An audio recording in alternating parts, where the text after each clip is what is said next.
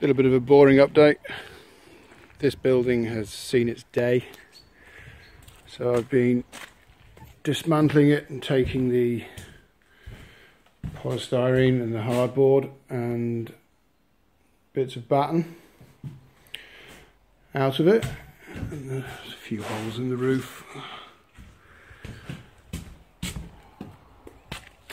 And um, did get a bit sidetracked and started clearing my little garden well.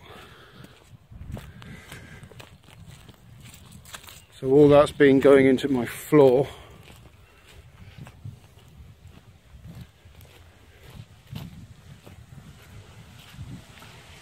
Which is going into here. So I've been battening out